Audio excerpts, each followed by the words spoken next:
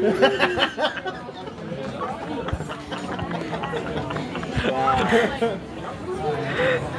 what have I done to you? I'm sorry. Peppa, we not here anymore. Tina's so cute. Whoa.